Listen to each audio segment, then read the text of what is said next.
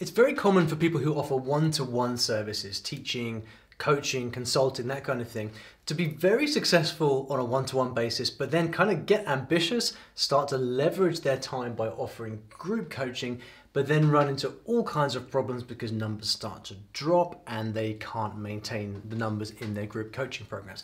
In this video, I'm going to show you how to get around that so you can very comfortably run group sessions, um, make the most of your time, leverage your time, uh, and do it all without the stress and the hassle of seeing dwindling numbers. That's what we're going to get into today. My name is Olly Richards.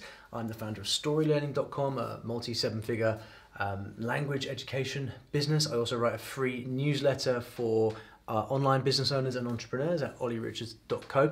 And I, I've, i initially saw this dynamic happening quite a lot in my days as um, in, in the language world because you'd get language teachers who would make a living doing one-to-one teaching uh, and then start to run group classes. Now sometimes what would happen is they'd even fill their group classes, hire another teacher to come on and deliver more group classes. But then what would happen is, you know, students would start to drop off it would be you know a real slog to replace those students in the groups and they would still have the salary of these teachers to pay and it's a really uncomfortable dynamic and it can make it so that you know life becomes kind of miserable when you're worried about um, you know making payroll you're having to slog away like just to maintain not even to grow but just to maintain numbers i saw this happening a lot and then when i um, kind of met more people in the wider business world, I realized that a lot of coaches and consultants have exactly the same problem. And so this is the dynamic. It starts. Um, people can do. You know, you can do. You can make a very, very good living um, doing one-to-one work, especially if you're in a in, in a, in a sort of B two B space. Uh, if you know how to market yourself properly, leverage your your value, sell to the right people, you can. It's very, very uh, easy to make a, a great living doing one-to-one. But what happens is you, you get FOMO, right? You look around and you see people offering all these group sessions and you think, well, hang on a sec, I'm spending all my time, I'm trading my time for money as if that was some kind of big evil.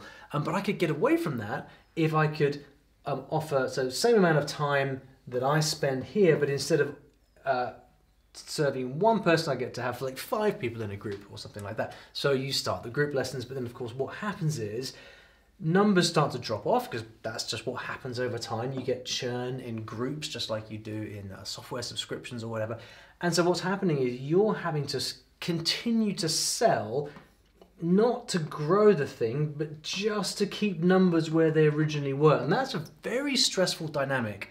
Uh, this is why I'm not, not the, the world's biggest fan of, of, of, membership sites and things like that, because the psychological battle of maintaining numbers can be really tough. So, how do you get around that? So, what happens is, as a one to one service provider, uh, you can find individuals in your audience you can you can serve them you can work with them one to one and make a really good living right?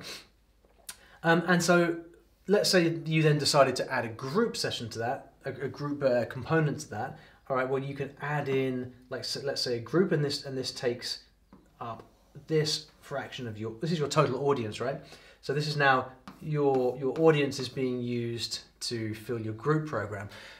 Now, when numbers start to drop off, you need to sell more people into that group program. But the problem is, you run up against the hard limit of your audience. Your your audience is so is only so big, and that's the core of the problem, right? Your problem is an audience problem, and if you don't have an audience big enough, you're not going to be able to continue to sell people into these group programs.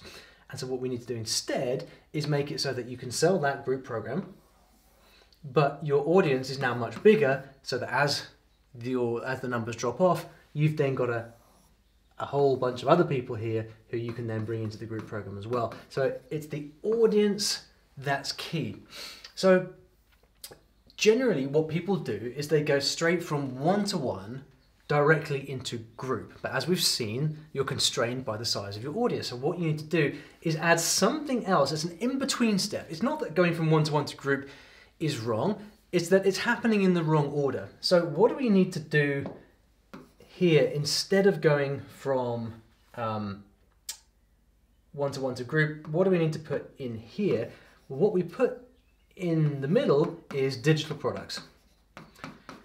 And this is essentially how I built my main business, uh, StoryLearning.com. So I started off as a language teacher, teaching teaching one to one. Then when I started working online, I could work with higher paying clients.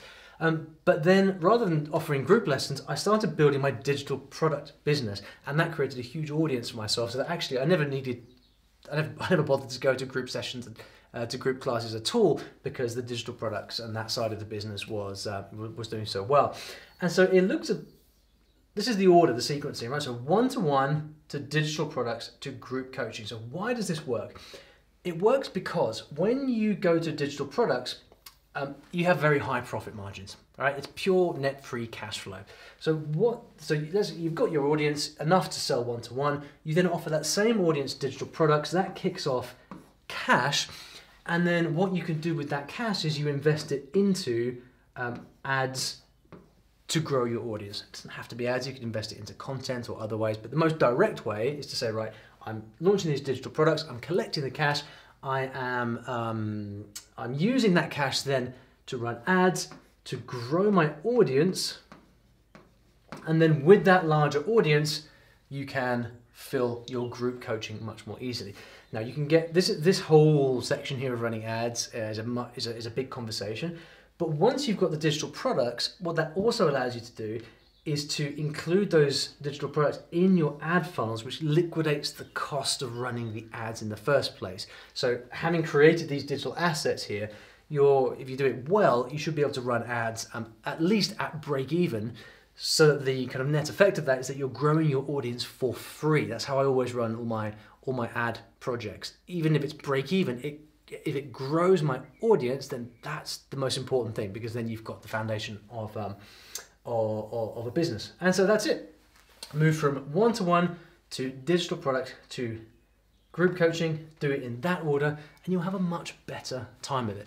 Um, wherever you are in your in your business journey, um, you, you may offer this, you, you may not, but I think it really helps to understand the idea of uh, of what to do in what order because none of us are lacking for information right as derek sivers says if, if, if information was the problem we'd all be billionaires with six packs um, I can attest to the fact that's not true.